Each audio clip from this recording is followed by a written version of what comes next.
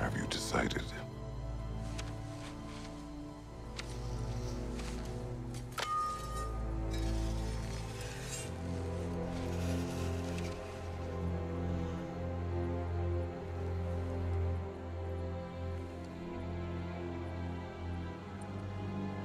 To be honest, I don't think I can do either.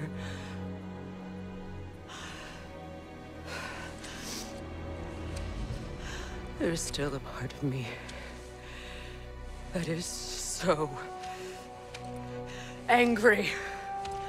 And it'll always be. It'll always be angry.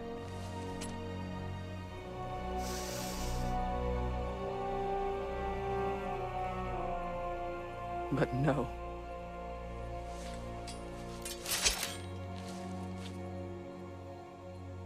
You are not the one who needs to die. I do see that.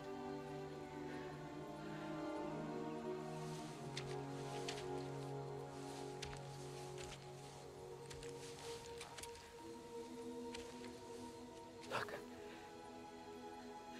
Everything that's happened between us. No need to explain. Not to me. Not for that.